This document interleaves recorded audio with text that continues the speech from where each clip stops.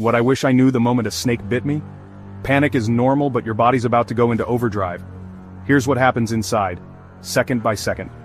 The instant those fangs break your skin, venom floods your bloodstream.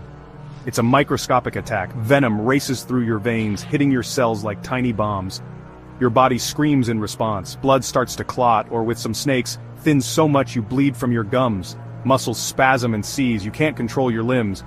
Your organs? They're in full-blown panic. Kidneys fight to filter poison while your heart hammers, struggling to keep up. If the snake is neurotoxic, your nerves start to shut down, messages from your brain get scrambled and paralysis creeps in. On the outside you feel burning pain. Your skin swells, maybe turns blue, and it gets harder to move or breathe. You might collapse. The clock is ticking, every minute more damage builds. In a real snakebite emergency, speed saves lives. Every second counts. Would you know what to do? Watch till the end. It could save your life.